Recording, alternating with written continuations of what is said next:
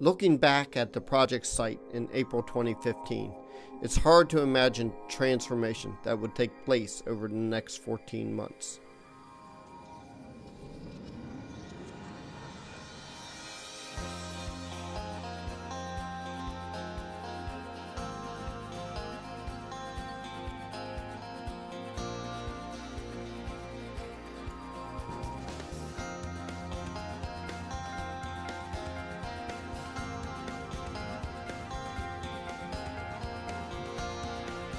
It is now June 2016.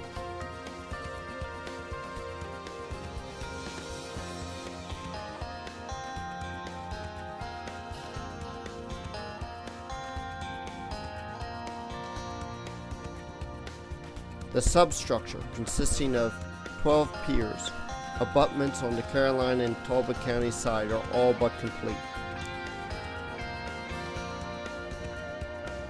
Salvaged marsh muck in a topsoil mix, along with a combined 28,000 plus low and high marsh plantings with over 10,000 canopy trees, evergreens, and understory trees and shrubs will be placed in the critical area buffer on the Caroline County side. The Omega Trestle is still performing support duties as workers install the stay-in-place forms in preparation of the reinforced concrete, whose installation should begin in mid-July. The superstructure consists of 25 haunch steel girders over the river weighing nearly 3 million pounds, 35 pre-stressed concrete girders on the approach spans from the Caroline County side weighing nearly 3.5 million pounds, and 30 additional specially steel girders weighing an additional 1.5 million pounds. It's the total weight of the superstructure to nearly 8 million pounds or 4,000 tons. As of June, the embankment is now in its third 150 day quarantine period. That will be followed by a fourth 150 day quarantine period and then a final 8 month long fifth quarantine period. Over 1,700 plantings will be placed in the marsh muck along the Caroline County approach to the bridge.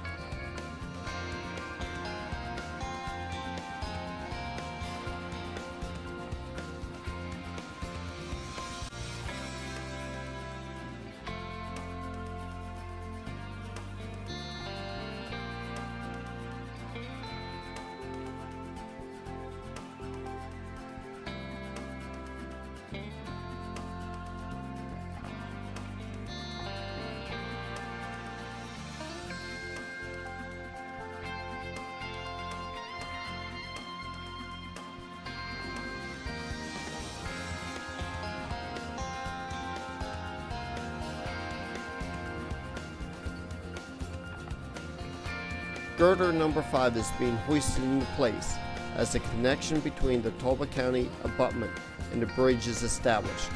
The video has been compressed to save time. The choreographed precision movements position the girder in place with just a 32nd of an inch in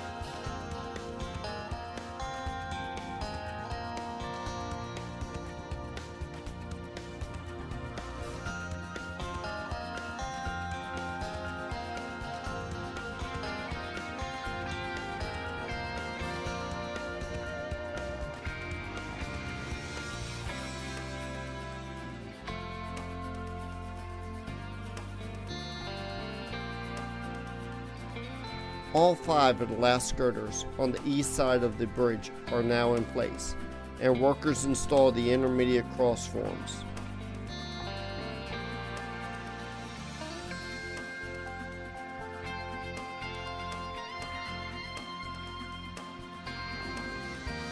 The Baltimore, McLean's heavy capacity floating crane, has finished its heavy lifting.